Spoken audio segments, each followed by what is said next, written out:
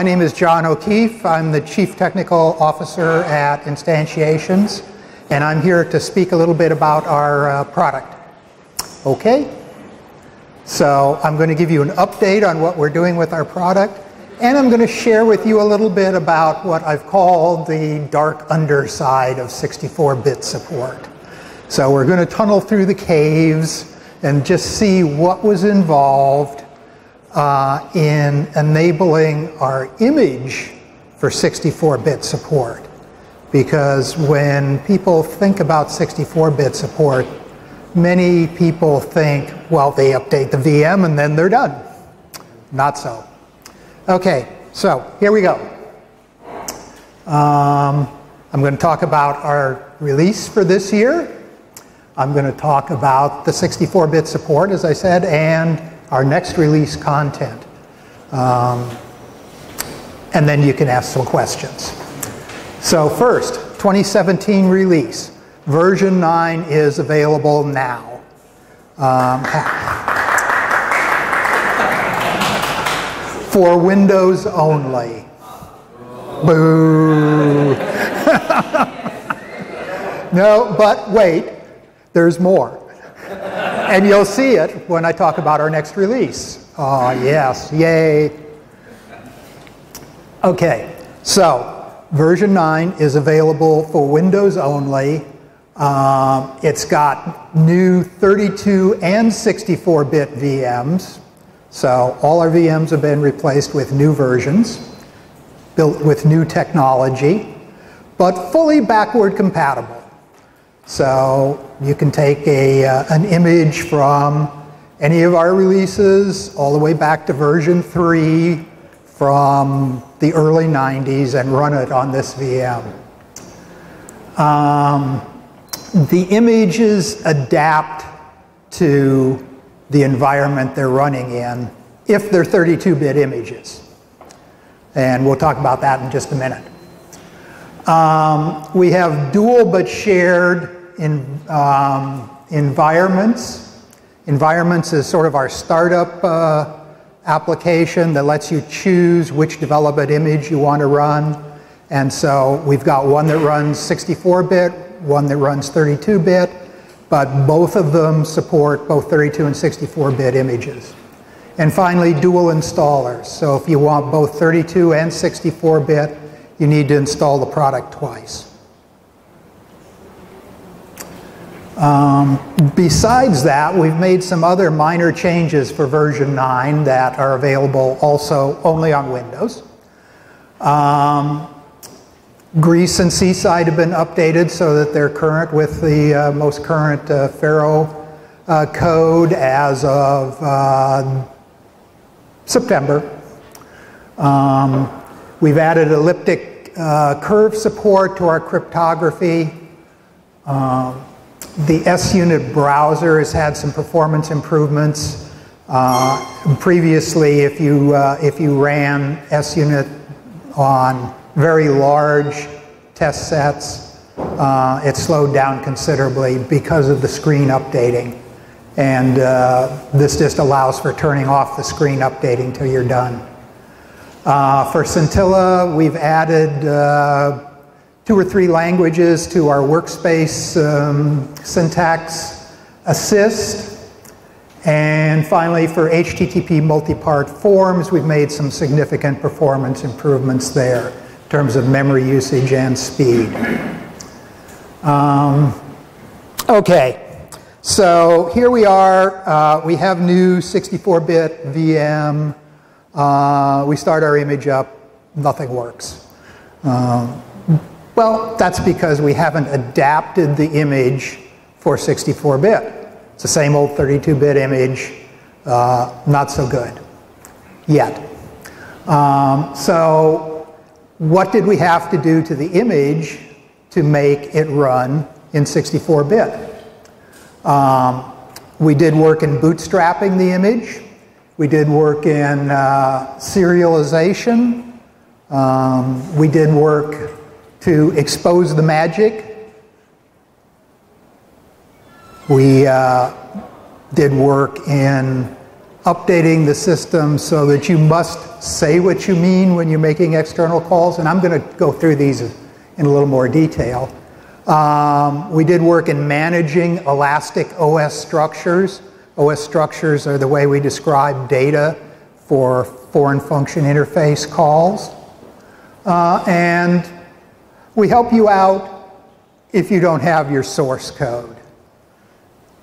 Not having your source code is a bad thing, but um, it may be a packaged runtime image, in which case there just isn't any source code associated with that at runtime.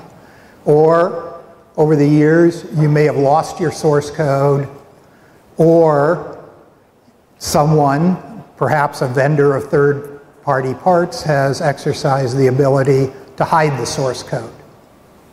So we'll talk about what you do then. So first, uh, bootstrapping.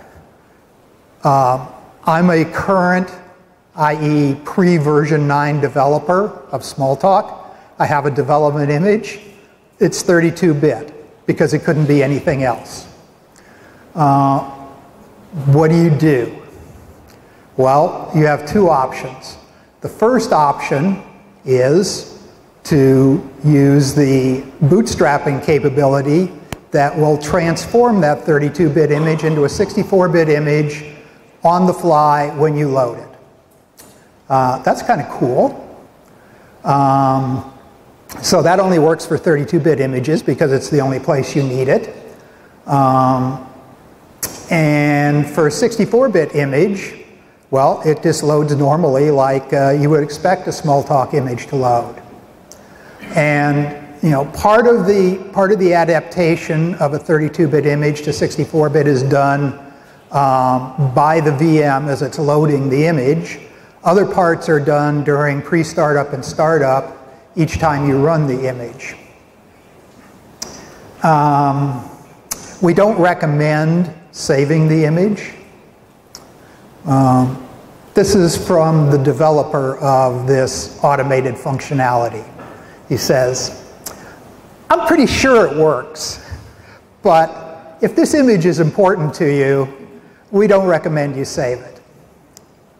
And so what we offer for that situation is an offline 32 to 64-bit conversion program that will give you a 64-bit image from your 32-bit image that you can load and use and save and blah, blah, blah.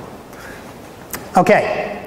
Um, the next problem is we use a lot of serialized data with VA Smalltalk. We store things in the ENVY Manager like user definitions. We store messages in files that are serialized. Uh, and users can serialize data and save it. Um, if you have both 32 and 64-bit images, that want to connect to the same ENVY repository or use the, the message files, um, that could be a problem because if they are serialized as 64-bit, um, you're not going to be able to read them in a 32-bit image. So what we've done is, by default, all serialization is 32-bit. Now, uh, you can get in situations where you need to serialize things as 64-bit. And to do that, you just change the default, do your serialization, change it back. You can do this programmatically. Uh, however, you won't be able to read that serialized data in a 32-bit image because it doesn't know about things like 64-bit addresses. Leandro. In which situation you would need to serialize so you would need to serialize a 60 a something as 64-bit if it, for example, was very large. It, it expanded. It you know it. Yes, really, a very large object. So normally, we expect 32-bit serialization to be sufficient. Um, oh, the magic numbers. So, uh, at least in our images, we have uh, lots of magic numbers, and we keep discovering more and more as we went through this process. Um, and that's a problem because some of these magic numbers relate to sizes of things that involve pointer sizes. Um, so 4 was a very common magic number, could be the size of a pointer. Um, or it could be something totally unrelated to pointers. If it's the size of a pointer, it needs to somehow be um, uh, changed, made dynamic, for example, so that on a 32-bit image it's 4, on 64-bit image it's 8. Uh, if it's in fact the size of something uh, in your application that has nothing to do with pointers, it has to be left alone. 12 is the size of an object header, 20 is size of an association. So we had to survey the entire image, find all of these magic numbers, uh, which isn't the easiest thing in the world. Um, determine which ones were important to 32 versus 64 bit and parameterize them. So now we have things like object header size as a, as a method or VM pointer size as a method that adapts within the method to whether you're running 32 or 64 bit. That probably, in terms of image uh, processing in order to get to 64 bits, was one of the most time consuming uh, efforts. Um, that we went through. Um, so the next one is say what you mean. In, in VA Smalltalk pre-version 9, uh, foreign function interfaces were rather forgiving about the size that you declared uh, arguments to be. Uh, in fact, everything from UINT 8 to UINT 32 all expanded to 32 bits when it went through the, uh, the interface. Um, and the new foreign function interface code that we, that we developed for 64-bit doesn't do that. You have to declare the size of the parameters explicitly. So there was another survey going through the entire product looking for places where we'd been a little loose in declaring the size of uh, parameters.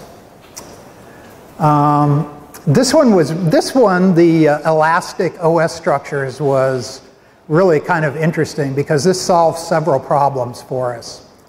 Um, it solved the problem of running on different platforms where um, the underlying C structs describing data um, either had different fields in them or had fields of different sizes or had fields that were rearranged within the structure for some odd unknown reason.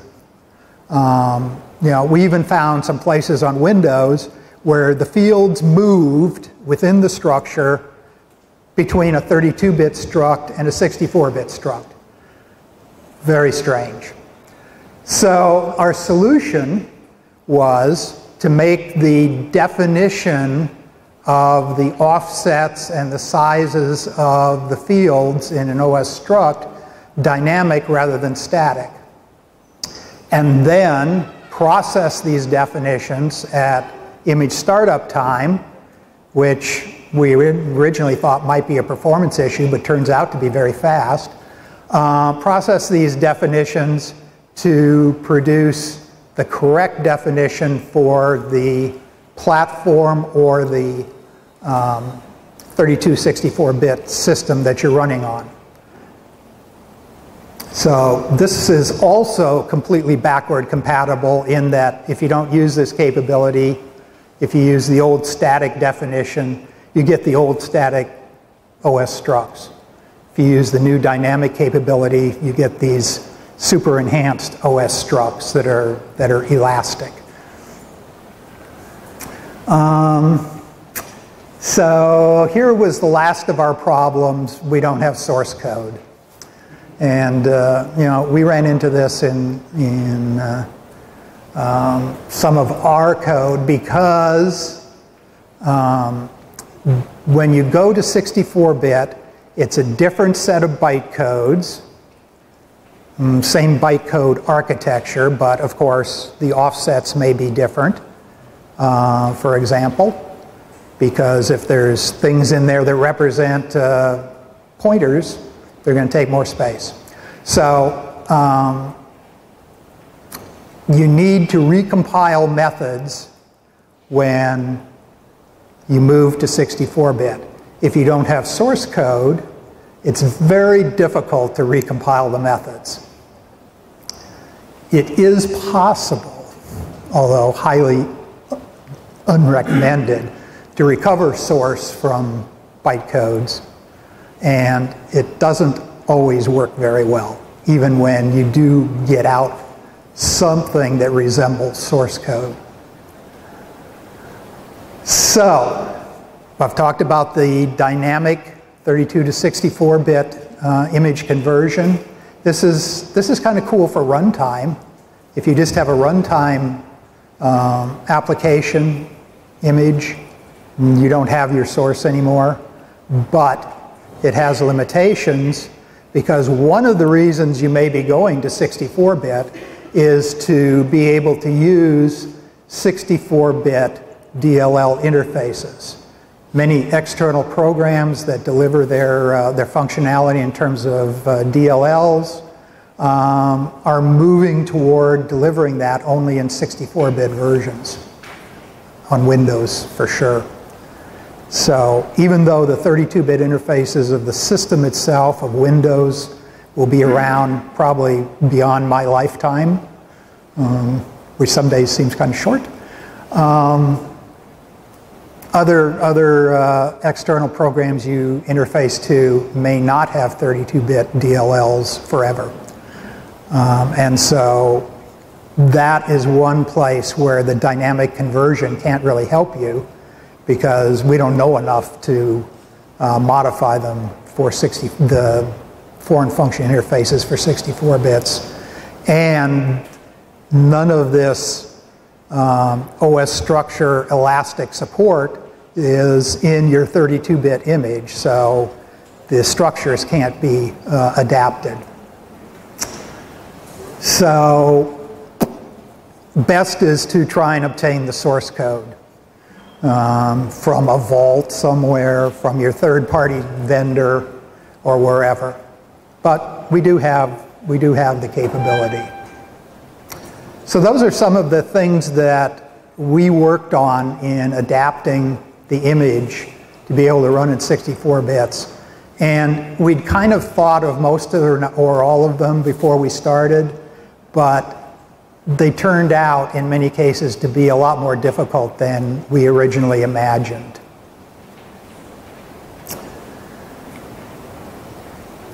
So, oops, wrong button.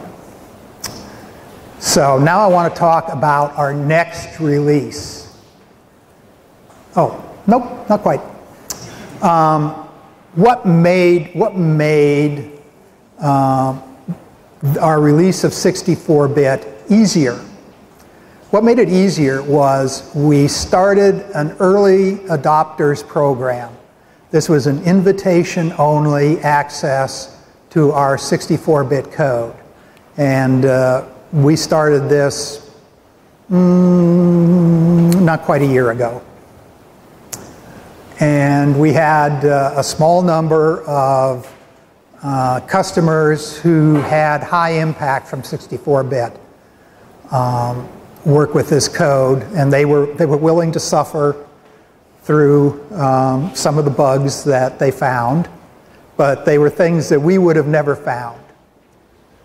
The second thing is we had a beta release, and that beta release, there were three of them, was, were public, and we got a lot of good feedback from our customers there. So that's what made us more confident that when we shipped the code to the field, we were shipping high quality code. Okay, now looking to the future. Our next release is going to be real soon now. Um, we're going to have uh, a uh, Linux 3264-bit beta starting very shortly. Um, this will, uh, I don't know how many beta releases there will be. It uh, kind of depends on what's found. Um, so the 60, the 64-bit Linux VM is one major component. The second major component is the beginning of our Unicode support. Um, I've stood up here at conferences here and at ESUG for, well, more years than I care to remember, uh, talking about Unicode and how we were just about ready to start on it. And then I come back the next year and say the same thing. Well, this year we have a plan and we plan on uh, ex, uh, you know, exposing that plan because very early in 2018, uh, we'll actually deliver some Unicode support in our next release 9.1. It'll be the primitives in the VM that are required for Unicode and it'll be some of the classes, the base classes, to represent Unicode data. So, this is all very exciting to us, and I hope it, it's kind of interesting or exciting to you that finally we have 64-bit and we're approaching rapidly Unicode support. So, um, my standard chart here that says, how do you get VA Smalltalk? We want you to have it. You can have it for free as an evaluation copy. Um, you just have to register on our website. Um, you can buy development licenses. We love that.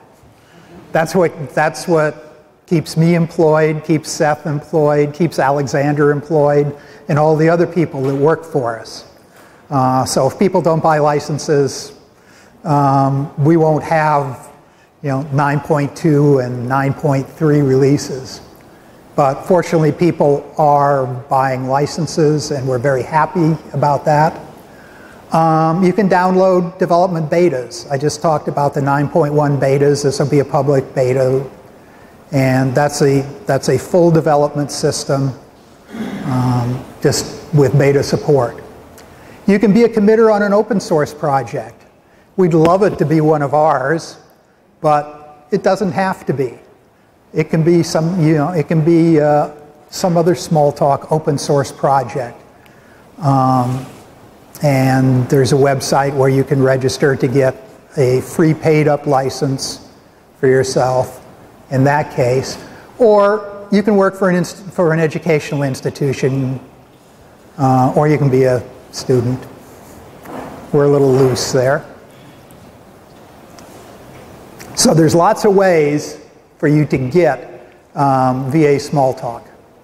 And we want you to have it in your hands, play with it, let us know what you think of it, and uh, make extensive use of it.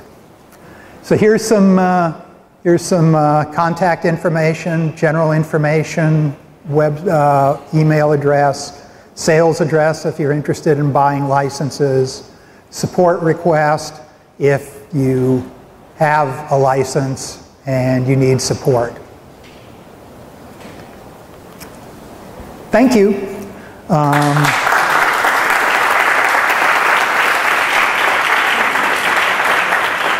do I have questions? Leandro. Uh, well, uh, I, I, remember that of was far, but uh, I remember they had a, they compiled uh, so why you it's not that important. I mean, most of your customers have the source code, so this is not a problem. So Leandro's question is, why am I making a big deal about not having source? Because there are decompilers available. Uh, the problem is when we compile to bytecodes, we make certain um, optimizations so that when you decompile, you don't get back the same source you started with. I mean, it obviously doesn't have the right instance variable names and class names and all that, but it also isn't functionally the same source as you started with.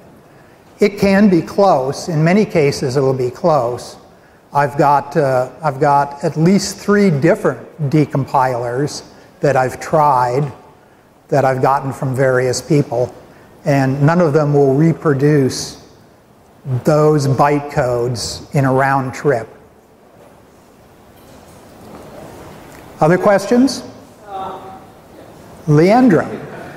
Uh, so it is safe to assume that user code, meaning your customers, uh, don't uh, have their own instances of this magic constant, like 4, 12, 20. Same for uh, structures. So the question is, is it safe to assume user developed application code wouldn't have these magic numbers? No, they may. It's much less likely than that they would have them than we find, we find them occurring in our code. And for the OS structures, um, if they're only working with 32-bit uh, environments, which they are now, um, they don't need to change.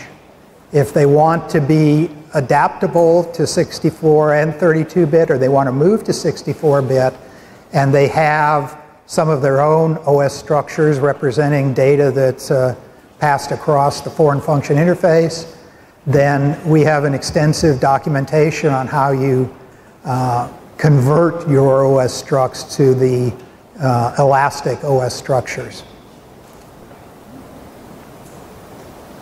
We don't do it automatically, unfortunately. Questions? Okay, thank you very much.